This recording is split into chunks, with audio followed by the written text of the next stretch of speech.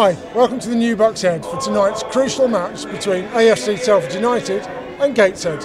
Surely a must-win game for both teams, as Telford look to break a 23-game run without a league win, while Gateshead themselves will be desperate for the points as they sit just three points above the relegation zone. Let's go and take a look at tonight's team. Well, let's hope they can get that first goal this evening, shall we? The uh, referee for tonight is uh, Brett Huxtable. And uh, he's uh, just making sure everybody's uh, ready. Actually, we have a slight delay. The Telford goalie, Ryan Young, is uh, still putting his gloves on. But we shouldn't be uh, too far away from the start of this game. Nine games left to go for Telford in the conference. Gateshead then get us underway. Telford kicking from our left to right. And here's uh, Carl Magnay making a run down Gateshead's right wing. Telford straight away, put on the back foot, but good jostling oh, for position by Simon Ford, the defender. The off. Gateshead certainly enjoying most of the early possession. They have another throw, which is going to be taken by Carl Magnay, the right back. And now a shooting opportunity may fall here, and a good save for Ryan Young. The shot in the end was from James Brown. The corner then for Gateshead. It will be an outswinger. Lofted into the near post, and Simon Ford nearly scores an own goal and Ryan Young has to tip it over. Corner towards the back post. Curtis heads it to the opposite post. Telford get it clear though. Craney looks to nod it down to Rooney, but Gateshead to react quicker. Turnbull shoots, and it's just over. Telford win it back on that left wing with Leslie. And he does well. Gets past Turnbull. Leslie goes on a run. He's halted, but Trainer gets it back. Switches it to Telford's right to Salmon. He's got a bright pair of yellow boots on flicks in his cross, headed goalwards by Williams, but no power on it. Telford showing signs there of getting uh, an opportunity. Leslie looks up, he's got Craney down the centre, Williams out wide on his left hand side, and also the left back Valentine overlapping. He goes for an early ball in towards Jonesvo, falls for Craney on the D, knocks it back to Rooney. Rooney opens it up here for Valentine, but again, defending is good, solid there from Gateshead. This time Magnay, the right back. Telford have another throw on that left wing. So it's been a good end to this first half from both teams. And you can hear from the supporters around us that they get to their feet and they are clapping this Telford team. So a goalless first half here at the new Bucks Head. Let's take a look at the second half to see if either team can take the win that they so desperately need. And it's nil-nil. We are underway then, second half, here on 96 FM. Back to Valentine. Gateshead now breaking with pace down that left hand side. Chandler through to Gillies. Now waiting is Donaldson towards the dead ball line. He keeps it in play. Salmon for company though. Gateshead have it on their left. He cuts back inside Donaldson. Finds Gillies, who's got nine league goals. Back out wide again to Donaldson. Takes it to a near post and it's straight at Ryan Young. Well, Telford got opened up there. Still awaits our first goal here.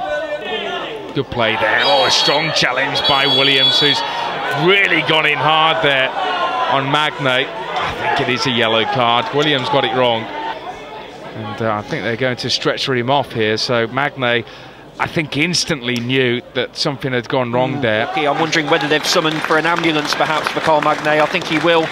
Uh, very probably be heading off to the uh, to the Princess Royal Hospital in Telford shortly. I wouldn't be at all surprised if the ambulance is on his way free kick then, low ball in, and uh, it should be taken by the Telford keeper Ryan Young, but he he tips it behind. It's a corner here for Gateshead. It's Josh Gillies who's gone off, Gateshead's leading scorer. Now as Gateshead look to regroup, here's Williams to Leslie. Telford attacking the goal away to our left-hand side. Around about 28 minutes left to go. The score still nil-nil. Here's Leslie. Overlaps with Valentine. Valentine gets a good cross in. Waiting there was Jones, but he's beaten in the air by Curtis on that occasion. 21 minutes to go in this game. Preston heads it clear again. Trainer wins it back in midfield but then runs into danger. Falls to Chandler. Chandler plays it out wide to Donaldson with the number 18 on. Good cross to the far post, away by Salmon, across his own goal, and uh, from this angle, it looked very close to being an own goal. Williams has got the pace. He's past one defender. Williams takes it down the right. Spray waiting for it. Can Williams find him? No, he can't. He hits it straight to the Gateshead man. It's kicked out of play, but Telford have a throw. It's nil-nil. Thrown into play to Leslie. Next to the uh, corner flag. Leslie on his left foot turns inside and out past two defenders. Craney shoots. It's flashed wide from distance. Ian Craney can't hit the target. A throw, a long one towards the near post. Headed by Preston. Force for Salmon. Trainer! And it's uh, still gone in the air. Trainer hit it on the half volley. It struck the defender on this left edge. Diagonal ball in towards the penalty spot. It's not away properly. Still inside there. Adagio gets a touch onto it. Rooney! Just over! Nathan Rooney nearly scores a screamer on the half volley. Hit it well with the laces on his right foot. It is, it is that time when they should just throw everyone forward. They need a goal. A point's no good. Look at John Psaras. He's watching gone, waving his arms around. Rooney! Tipped over! Oh, it may have just been dipping in from Nathan Rooney. At the other end, hatches through, tackled by Will Salmon. What a challenge that was from Salmon. The referee glances at his watch. It is nil-nil.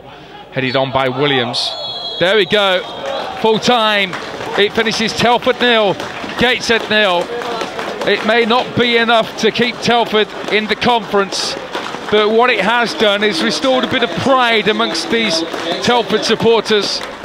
I'm joined now by new interim manager John Psaras. John, possibly a disappointing result, but must be pleased with the performance, I guess. Absolutely, you know that, that was the main thing today. That I would have been, you know, really sort of, you know, down it had we we'd lost that game because I thought we've worked really hard. You know, the, the, the main thing for me today was to get those boys working together. And you know, if they work together, work hard, stay together, then something's going to happen in, in, in that box there. And you know, okay, unfortunately, it didn't happen because of a little bit sort of lacking quality. You know, uh, the movement. Um, but it'll come. I'm, I'm pretty sure it'll come. And looking forward, what what are you asking the guys to do kind of differently to what's gone on in previous weeks? Um, I want them to enjoy it, okay? And and I think you'll get enjoyment from working hard in, in, in a system where you know you're going to get results from your hard work. Um, you know, a lot of praise. Um, what can I say? A lot of lots, lots of praise and, and sort of like enthuse and and and, and um, you know we bought Meeks in and he sort of brought a, some exuberance out as well. So you know it's, it's, I'm not going to say light-hearted because no, you know if you're someone on the sideline there, this, if, if if I need to have a go, I'll, I'll I'll have a go. You know, but in the right way because they know their roles and responsibilities. You know, I I, I expect them wherever the ball is on the pitch, I expect them to be in a certain position. Um, if they're not, then I'll I'll tell them. We're on the ball, I want them to make early decisions, right decisions. You know, if they dwell on the ball too much, then you know the space gets closed down, closed down, then they lose it. So these are the things I'm sort of trying to instill into them.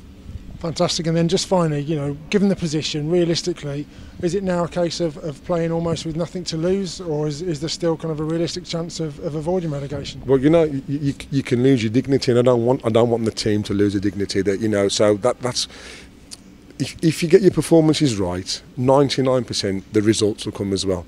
You know, so if, if the results come and you know we can get a win next game or the game after, then you know, and depending on what goes on around you, yeah, there's hope. You know, it's not over until it's mathematically impossible. You know, and you know, even when it's mathematically impossible, I would still expect them to put that work rate in because they're playing for their careers. You know, there might be a, the, the new manager might be in the stand and think, well, hang on, he's he's a decent player.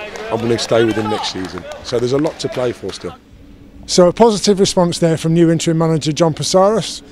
Let's see how the team get on next week as they travel away to face Woking.